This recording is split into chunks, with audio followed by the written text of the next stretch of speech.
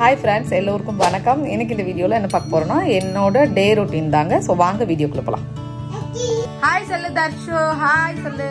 Hi யாருக்கு happy birthday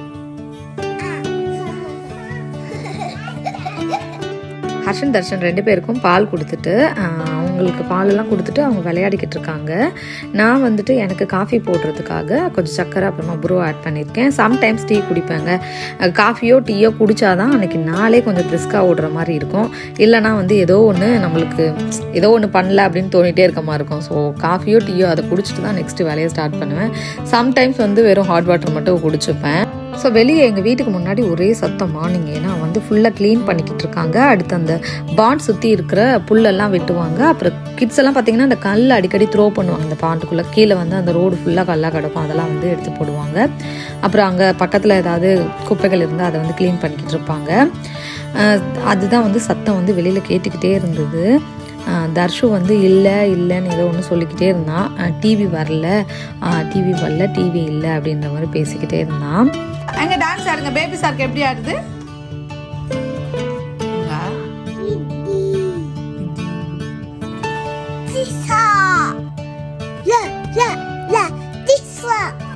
first வந்து பாண்டு க்ளீன் பண்ணிட்டு இருக்காங்க அப்படின்னு சொன்னேன் இல்லையா இப்போ நைன் தேர்ட்டி ஆகுதுங்க வெளியில் செம்ம மழை பெஞ்சிக்கிட்டு இருக்கு பாருங்க அப்போ மழை பெய்யவே இல்லை கொஞ்ச நேரத்தில் ஒரு ஆஃப் அன் ஹவரில் அப்படியே வெதர் வந்து சேஞ்ச் ஆகி நல்லா வந்து மழை பெஞ்சிக்கிட்டு இருந்தது சில்லுன்னு ஆயிட்டு இருந்துச்சு ஹர்ஷன் உடனே நான் எப்படி ஸ்கூலுக்கு போவேன் மழை பெய்யுது மழை பெய்யுது அப்படின்னு சொல்லிக்கிட்டு இருந்தான் கொஞ்ச நேரம் பெஞ்சிட்டு இருந்தது அடுத்து நெக்ஸ்ட் வந்து ஸ்டாப் ஆயிடுச்சு ஹர்ஷன் தர்ஷன் ரெண்டு பேரையும் குளிக்க வச்சாச்சுங்க. குளிக்க வச்சுட்டு அவங்களுக்கு மார்னிங் வந்து கஞ்சி கொடுத்தேன். என்னென்னா தர்ஷுக்கு கொஞ்சம் உடம்பு சரியில்லை அப்படிங்கிறனால அவனுக்கு சரி கஞ்சியாக கொடுத்துடலாம் அப்படின்னு சொல்லிட்டு கஞ்சி கொடுத்தேன். ஸோ நெக்ஸ்ட்டு தர்ஷ் ஹர்ஷன் எனக்கும் வேணும் அப்படின்னு சொல்லிட்டு அவனும் சாப்பிட்டுட்ருக்கான் லெவன் ஓ கிளாக் தான் ஹர்ஷனுக்கு ஸ்கூல் லெவன் ஃபார்ட்டி ஃபைவ்க்கு பஸ் வரும். பட் நாங்கள் இந்த டைமிங் வந்து ஹர்ஷனோட டைமிங்கை சேஞ்ச் பண்ணிட்டோம். மார்னிங்லேருந்து ஆஃப்டர்நூனுக்கு சேஞ்ச் பண்ணனால ஒரு ஒன் வீக் மட்டும் நாங்களே பிக்கப் ட்ராப் பண்ணோம்.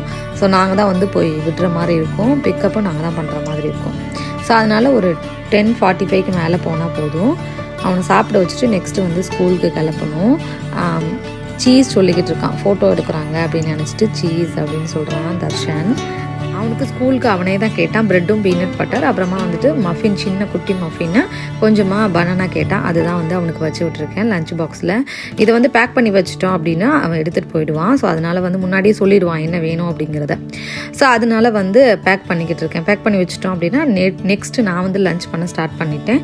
லஞ்சுக்கு பிரியாணி பண்ணலாம் அப்படின்னு சொல்லிட்டு எல்லாமே எடுத்து வச்சுட்டேன் வெளியில். ஒரு kilo biryani rice basmati rice எடுத்து வச்சுருக்கேன். அதுக்கு ஒரு கிலோ சிக்கன் வந்து கழுவி வாஷ் பண்ணி எடுத்து வச்சுருக்கேன். பிரியாணிக்கு ஒரு கிலோ ரேஷியோக்கு பார்த்தீங்கன்னா நானூறு கிராம் வெங்காயம் நானூறு கிராம் தக்காளி. ஸோ அதை தான் எல்லாமே மெஷர் பண்ணி எடுத்து வச்சுருக்கேன். ஒரு மூணு பச்சை மிளகாய். இஞ்சி பூண்டு விழுது வந்து இஞ்சி ஒரு நூறு கிராம் பூண்டு ஒரு ஐம்பது கிராம் வந்து இஞ்சி பூண்டு விழுது அரைச்சி இந்த மாதிரி எடுத்து வச்சுருக்கேன். அடுத்து ஒரு கைப்பிடி அளவு புதினா ஒரு கைப்பிடி அளவு மல்லி இலை எடுத்து வச்சுருக்கேங்க. நெக்ஸ்ட் வந்து பிரியாணி பண்ணும்போது நம்ம ஒவ்வொன்றா பார்க்கலாம். பக்கத்துலேயே பார்த்தீங்கன்னா இந்த பட்டை கிராம்பு ஏலக்காய் அதெல்லாமே எடுத்து வச்சுருக்கேன்.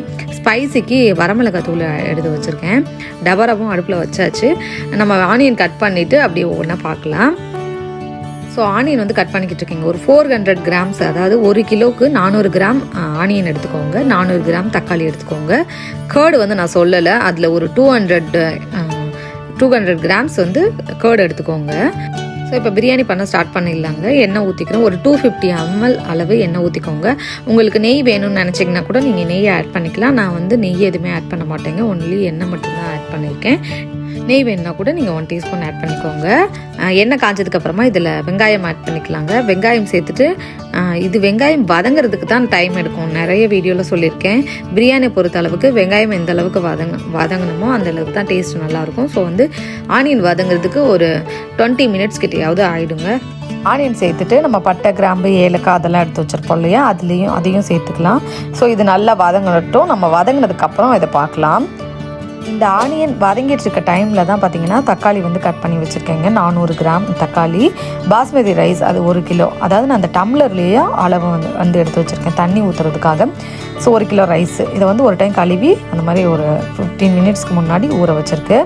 வெங்காயம் இந்த அளவுக்கு வதங்கியிருக்கு. இன்னும் கொஞ்சம் வதங்கினா நல்லாயிருக்கும். இன்னும் கொஞ்சம் நேரம் வதங்கட்டும். இப்போ ஆனியன் வந்து இந்த அளவுக்கு நல்லா வதங்கிருச்சு இல்லையா? இந்த ஸ்டேஜில் நம்ம வந்துட்டு மல்லி இலை ஆட் பண்ணிக்கலாங்க. மல்லி இலை சேர்த்துட்டு ஒரு டென் செகண்டுக்கு வந்து சும்மா அப்படியே வதக்கி விட்டுருங்க. அதுக்கப்புறமா நம்ம புதினா இலை ஆட் பண்ணிக்கலாம். ஒவ்வொன்றா போடும்போதும் ஒரு டென் செகண்ட்ஸ் இல்லைனா ஒரு ஃபைவ் செகண்ட்ஸ்க்கு வந்து நல்லா வந்து இந்த மாதிரி எண்ணெய் கூடயே வதக்கி விட்டுருங்க.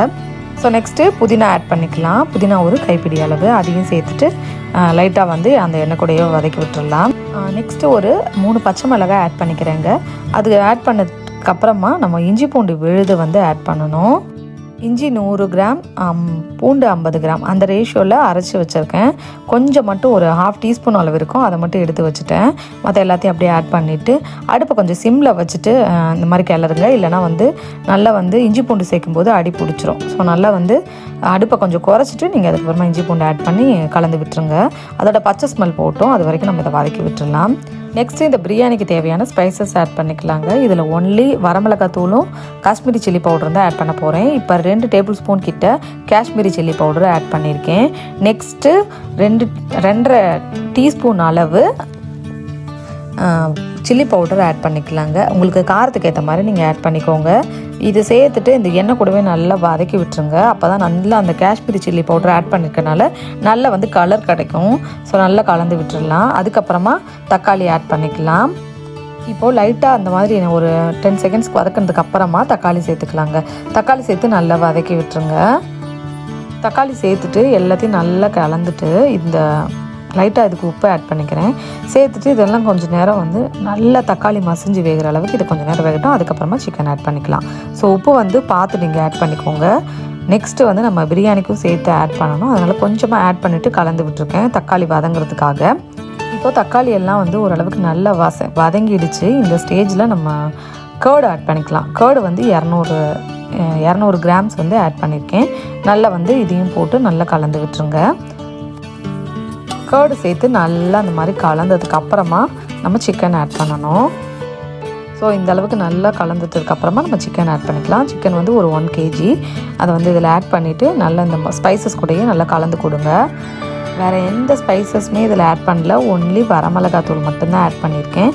சரி இந்த டைம் வந்து இந்த மாதிரி ட்ரை பண்ணலாம் அப்படின்னு சொல்லிட்டு இந்த மாதிரி ட்ரை பண்ணியிருக்கேங்க. இந்த சிக்கனுக்கு தேவையான கொஞ்சமாக உப்பு ஆட் பண்ணிக்கிறேன். ஆல்ரெடி ஒரு டேபிள் ஸ்பூன் கிட்டே ஆட் பண்ணியிருக்கேன். இப்போ கொஞ்சம் ஆட் பண்ணியிருக்கேன். சேர்த்துட்டு கலந்து விட்டுட்டு இந்த பிரியாணிக்கு தேவையான தண்ணி வந்து ஆட் பண்ண போகிறேங்க அதாவது பார்த்திங்கன்னா தண்ணி வந்துட்டு ஒன்றுக்கு ஒன்றரை கப்பு தண்ணி. ஸோ அதுக்கேற்ற மாதிரி எவ்வளோ எடுக்கிறீங்களோ அந்த ரேஷியோக்கு ஏற்ற மாதிரி தண்ணி சேர்த்துக்கோங்க. தண்ணி சேர்த்துட்டு இது வந்து நல்லா வந்து இப்போ மூடி போட்டுடலாம் மூடி போட்டு கொதி வந்ததுக்கு அப்புறமா தான் நம்ம ரைஸ் போட போகிறோம் ஸோ கொதி வந்ததுக்கப்புறம் நம்ம பார்க்கலாம். இப்போ வந்துட்டு ஒரு டென் மினிட்ஸ் ஆகிடுச்சுங்க ஹ- கொஞ்சம் ஹை ஃப்ளேம்லேயே தான் வச்சுருந்தேன். நல்லா வந்து கொதிச்சிட்ருக்கு. இந்த டைமில் நம்ம ரைஸ் வந்து ஆட் பண்ணிக்க போகிறோம் ரைஸில் இருக்க தண்ணியெல்லாம் நல்லா வடித்து வச்சுருங்க. வடித்து வச்சுட்டு அதுக்கப்புறமா ஆட் பண்ணிக்கலாம். நல்லா வந்து இந்த மாதிரி கொதிச்சிட்ருக்கு. ஸோ இப்போயே பார்த்திங்கன்னா நல்ல வந்து ஒரு நல்ல ஒரு அரோமா அந்த ஸ்மெல்லு இப்போ வந்து போட்டுடலாம். போட்டுட்டு போட்டுட்டு ரொம்ப எப்போவுமே பாஸ்மதி ரைஸை போட்டு நம்ம கிளறணும் அப்படின்னாலே உடஞ்சிருங்க. ஸோ அதுக்கேற்ற மாதிரி நம்ம பா பார்த்து பார்த்து பண்ணுற மாதிரி இருக்கும். இல்லைனா உடஞ்சிருச்சு அப்படின்னா கொஞ்சம் இதாக இருக்கும். ஸோ ரொம்ப கிளறிடாமல் அப்படியே வந்துட்டு விட்டீங்க. லைட்டாக வந்து ஒரு சும்மா கிளறிட்டு இந்த பிரியாணிக்கு தேவையான உப்பு சேர்த்துக்கலாம். சேர்த்துட்டு அப்படியே வந்துட்டு இப்போ மூடி போட்டுற போகிறேன் மூடி போட்டுட்டு நம்ம நெக்ஸ்ட்டு வந்து கொஞ்ச நேரம் இந்த ரைஸும் இதுவும் ஈக்குவலாக வர்ற வரைக்கும் வெயிட் பண்ணுவோம். அதுக்கப்புறம் நம்ம தம் போட்டுடலாம். லைட்டாக இந்த மாதிரி கீழேருந்து அடியில் வரைக்கும் கலந்து கொடுத்துட்டு அப்படியே மூடி போட்டுருங்க. உப்பு வேணால் செக் பண்ணிக்கோங்க. உப்பு காரம் செக் பண்ணிக்கோங்க இந்த ஸ்டேஜில் உப்பு பத்தலை அப்படின்னாலும் நம்ம எக்ஸ்ட்ரா அந்த மாதிரி ஆட் பண்ணிவிட்டு கலந்து விட்டுட்டு மூடி போட்டுருங்க. மூடி போட்டுட்டு இப்போ தம் எதுவும் போட போகிறதில்ல ரைஸும் ரெண்டும் வந்து ஈக்குவலாக வந்ததுக்கு அப்புறமா தான் நம்ம தம் போட போகிறோம் இப்போது தண்ணியும் அந்த ரைஸும் ஈக்குவல் ஆகிடுச்சு பாருங்கள் இந்த ஸ்டேஜில் தாங்க நம்ம தம் போடணும். ஆனால் அடுப்பு வந்து நான் குறைக்கவே இல்லை. மீடியம் ஃப்ளேமில் தான் வச்சு வெந்துட்டுருக்கு. ஸோ கீழேருந்து இந்த மாதிரி லைட்டாக கலந்து கொடுத்துட்டு அப்படியே லெவல் பண்ணி விட்டுட்டு நம்ம வந்து தம் போட்டுடலாம் அண்ட் ரொம்ப கலந்தீங்க அப்படின்னா பாஸ்மதி ரைஸ் ஃபுல்லாகவே உடஞ்சிரும். ஸோ அந்த அளவுக்கு லைட்டாக கலந்து விட்டுட்டு கீழேருந்து மேலே அந்த மாதிரி தான் வந்து இதை கிளறணும். இப்போ அடுப்பை சிம்மில் வச்சுட்டேன். இப்போ தம் போட்டுடலாங்க. ஒரு பிளேட்டை போட்டு மூடிட்டு அதுக்கு மேலே ஹெவியான பாத்திரத்தில் தண்ணி இதில் இதுக்கு மேலே ஹாட் வாட்டர் ஊற்றி வச்சுருக்கேன். ஒரு ஃபிஃப்டீன் மினிட்ஸ் வந்து கழிச்சிட்டு நம்ம எப்படி இருக்குன்னு பார்க்கலாம். அடுப்பை வந்து நல்ல சிம்மில் வச்சுட்டேன். ஃபிஃப்டீன் மினிட்ஸ் கழிச்சு ஓப்பன் பண்ணி பார்க்கலாம். பிரியாணி தம் போட்டிருக்க கேப்பில் பார்த்தீங்கன்னா விசில்ஸ் எல்லாம் வாஷ் பண்ணிடலான்னு சொல்லிட்டு வாஷ் பண்ணிகிட்ருக்கேன் ஹர்ஷனை ஸ்கூலுக்கு அனுப்பணும். நெக்ஸ்ட்டு வந்து அதுதான். விசில்ஸ் எல்லாம் வாஷ் பண்ணி முடிச்சாச்சு. இப்போ ஒரு ஃபிஃப்டீன் மினிட்ஸ் ஆகிடுச்சுங்க நம்ம பிரியாணி எப்படி இருக்குது அப்படிங்கிறத பார்த்துடலாம் இதை எடுத்து வச்சுட்டு ஓப்பன் பண்ணி பார்த்தோம் அப்படின்னா பிரியாணி ரொம்ப சூப்பராக வந்துருந்துச்சுங்க. நம்ம பண்ணி அப்படி வந்துருந்துச்சு அப்படின்னு தோணுச்சு. ஏன்னா சம்டைம்ஸ் எனக்கு சொதப்பிடும் ஒன்று குழஞ்சிரும் இல்லைனா டேஸ்ட் மாறிடும். ஸோ இந்த டைம் வந்து ரொம்ப um, அழகாக அதாவது எடுத்த உடனே அப்படியே போல போலன்னு வந்துருந்துச்சு. ஸோ எனக்கே ஒரு ஒரு ஹாப்பினஸ் ஆகிடுச்சு ஸோ அப்புறம் வந்து பார்த்திங்கன்னா ஸ்டவ் ஆஃப் பண்ணிவிட்டு இதை நான் இறக்கி கீழே வச்சுட்டேன். ஹர்ஷன் ஸ்கூலுக்கு கிளம்பிட்டான். அவனை கிளப்பியாச்சு. அடுத்து தர்ஷன் நானும் போகணும் ஷூ போடுங்க அப்படின்னு சொன்னான். ஸோ ஷூ வந்து போட்டு விட்டாச்சு. அவனையும் போயிட்டு அவனும் ஏன்னா ஸ்கூலுக்கு ட்ராப் பண்ணும்போது இவனும் போயிட்டு வந்தானா கொஞ்சம் எனக்கு கொஞ்சம் ஃப்ரீயாக இருக்கும். அதனால் இவங்க காரில் போகிறனால ரெண்டு பேரும் கிளம்பிட்டாங்க ஸ்கூலுக்கு. அப்போ அவ்வளோ மழை பெஞ்சிட்டு இருந்தது. அதுக்கப்புறம் மழையெல்லாம் ஸ்டாப் ஆகி மழை பெஞ்ச தடமே இல்லாமல் எப்படி வெயில் அடிச்சிட்ருக்கு பாருங்கள் முன்னாடி அவ்வளோ மழை அப்படியே மழையே இல்லாமல் ஸ்டாப் ஆகிடுச்சு இப்படி வெயில் அடிச்சிட்ருக்கு அடுத்து நான் அந்த பிரியாணிக்கு ஷை டிஷ்க்காக இன்றைக்கி கத்திரிக்காய் எதுவும் பண்ணல. கொஞ்சமாக சிக்கன் எடுத்து வச்சுருந்தேன். அதில் வந்துட்டு கொஞ்சமாக கிரேவி பண்ணிடலாம் அப்படின்னு சொல்லிட்டு கொஞ்சமாக ஒரு பாத்திரத்தில் எண்ணெய் ஊற்றிட்டு பட்டை கிராம்பு ஏலக்காய் ஆட் பண்ணிவிட்டு வெங்காயம் சேர்த்துருக்கேன். இதை நல்லா வதக்கிக்கலாம். வதக்கிட்டு அதுக்கப்புறமா நம்ம தக்காளி இஞ்சி பூண்டு விழுது அதெல்லாம் சேர்த்துட்டு சும்மா அப்படியே கொஞ்சமாக கிரேவி மாதிரி பண்ண போகிறேன் இஞ்சி பூண்டு பேஸ்ட் போட்டு நல்லா வதக்குனதுக்கு அப்புறமா ஸ்பைசஸ் எல்லாம் ஆட் பண்ணியிருக்கேன் அதாவது கரம் மசாலா மிளகாய் தூள் மல்லித்தூள் மஞ்சத்தூள் சீரகத்தூள் இதெல்லாம் ஆட் பண்ணியிருக்கேன் ஆட் பண்ணிட்டு நல்லா வந்து கலந்ததுக்கு அப்புறமா இப்போ தக்காளி ஒரு ரெண்டு தக்காளியை கட் கட் பண்ணி சேர்த்துருக்கேன். இதையும் நல்லா வந்து வதக்கி விட்டுடலாம் அதுக்கப்புறமா நம்ம சிக்கன் ஆட் பண்ணிக்கலாம். இப்போ தக்காளி நல்லா வதங்கிருச்சுங்க. தக்காளி அந்த ஸ்பைசஸ் எல்லாம் கொஞ்சம் பச்சை வாடெல்லாம் போயிடுச்சு. இப்போ நம்ம சிக்கனை ஆட் பண்ணிக்கலாம். சிக்கனை சேர்த்துட்டு தண்ணி எவ்வளோ வேணுமோ அதுக்கேற்ற மாதிரி தண்ணி வச்சுட்டு உப்பு எல்லாம் செக் பண்ணிவிட்டு அப்படியே போட்டு மூடி வச்சிட்டோம் அப்படின்னா லைட்டாக சிக்கன் கிரேவி வேணும்னா நம்ம தேங்காய் கூட பேஸ்ட்டை அரைச்சி வச்சு சேர்த்துக்கலாம். ஸோ நல்லா கலந்துட்டு தண்ணி ஆட் பண்ணிட்டேங்க. ஆட் பண்ணிவிட்டு அதுக்கப்புறமா கொஞ்சமாக மல்லி இலை கருவேப்பிலை இருந்தால் கருவேப்பிலை போட்டுக்கோங்க. அவ்வளோதான் மூடி போட்டு நல்லா வேகட்டும். நெக்ஸ்ட்டு வந்து இதுக்கு ஒரு தேங்காய் பேஸ்ட் மட்டும் அரைச்சிக்கலாம். கொஞ்சம் தண்ணி எக்ஸ்ட்ரா ஆகிடுற மாதிரி இருந்தது. ஸோ அதனால் கொஞ்சம் தேங்காய் பேஸ்ட்டு அரைச்சி ஆட் பண்ண போகிறேன் ஸோ கொஞ்சம் வெந்ததுக்கு அப்புறமா இதில் கொஞ்சம் பேஸ்ட் ஆட் பண்ண போகிறேன் அதாவது தேங்காவும் முந்திரியும் வந்து அரைச்சி வச்சுருக்கேன். அதை இது கூட சேர்த்துக்கலாம். சேர்த்துட்டு கொஞ்சம் சிம்மில் வச்சுட்டு கொஞ்சம் எண்ணெய் பிரிஞ்சு வர வரையும் அதாவது கொஞ்சம் கிரேவி வர வரைக்கும் நம்ம அடுப்பை வச்சுட்டு அதுக்கப்புறம் இறக்கிட்டோம் அப்படின்னா கிரேவி ரெடி ஆகிடும் அவ்வளோதான் ஸோ எங்களோட லஞ்சுக்கு சிக்கன் கிரேவி பிரியாணி அவ்வளோதாங்க சாப்பிட்டு முடிச்சுட்டு ஹர்ஷன் தூங்கிட்டான். அடுத்து ஹர்ஷனும் டூ ஃபார்ட்டி ஃபைவ் கிட்ட வந்தான் அவனும் சாப்பிட்டுட்டு கொஞ்சம் நேரம் விளையாடிட்டு இருந்தான். நானும் கொஞ்சம் நேரம் ரெஸ்ட் எடுத்துட்டு ஒரு ஃபைவ் டுவெண்ட்டிக்கு பார்த்தீங்கன்னா கொஞ்சம் சாங்ஸ் எல்லாம் போட்டு சும்மா அப்படியே ஓடிட்டே இருக்கும். ஆல்ரெடி எப்போவுமே சாங்ஸ் வீட்டில் ஓடிக்கிட்டே இருக்கும் இந்த மாதிரி. இல்லைனா நம்மளுக்கே ஒரு மாதிரி அமைதியாக இருக்க மாதிரி இருக்கும். இல்லைனா ஏதாவது இந்த மாதிரி ஓடிட்டே இருந்தால் தான் எனக்கு வேலை சீக்கிரம் நடக்கிற மாதிரி ஒரு ஃபீல் இருக்கும். அதனால் சாங்ஸ் கேட்டுக்கிட்டே தான் இருப்பேன் எந்த நேரமும். அப்புறம் வந்துட்டு சரி ஓகே அவங்க எல்லோரும் பார்க்குக்கு விளையாட போயிட்டாங்க. ஹர்ஷன் தர்ஷன் ரெண்டு பேருமே. இந்த டைமில் சரி டீயை போட்டு குடிச்சு முடிச்சிடலாம் அப்படின்னு சொல்லிட்டு எனக்கு டீ போட்டுட்ருக்கேன். என் ஹஸ்பண்ட் எப்பயுமே டீ காஃபி அந்த மாதிரி குடிக்க மாட்டாங்க. ஒரு ஆள் நான் எனக்கு மட்டும்தான்.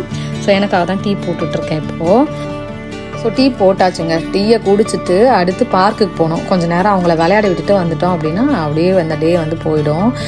தர்ஷு வந்து அவங்க அப்பா கிட்ட அப்பா ஸ்லைடு போகணும் ஸ்லைடு போகணும் அப்படின்னு சொல்லிக்கிட்டே இருந்தான் அதனால அவங்க கூட்டிகிட்டு போயிருக்காங்க.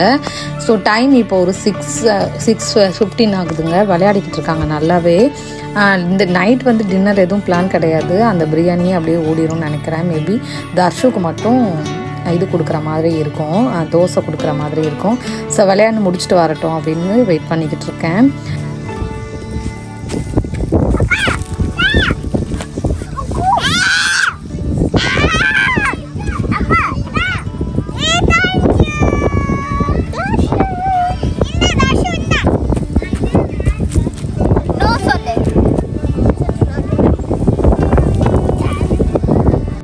ஸோ இப்படி தாங்க என்னோட டே போச்சு.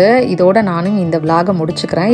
செவன் ஓ கிளாக்கோட இந்த வீடியோ கண்டிப்பாக உங்களுக்கு பிடிச்சிருக்குன்னு நினைக்கிறேன். பிடிச்சிருந்துச்சு அப்படின்னா சேனலுக்கு சப்ஸ்கிரைப் பண்ணி பெல் ஐக்கான் கிளிக் பண்ணிக்கோங்க. அப்போ தான் நான் போடுற வீடியோஸ் எல்லாம் உங்களுக்கு நோட்டிஃபிகேஷனாக வரும். உங்கள் ஃப்ரெண்ட்ஸ் அண்ட் ஃபேமிலி எல்லாருக்கும் ஷேர் பண்ணி விடுங்க. நெக்ஸ்ட் வீடியோவில் பார்க்கலாம். பாய்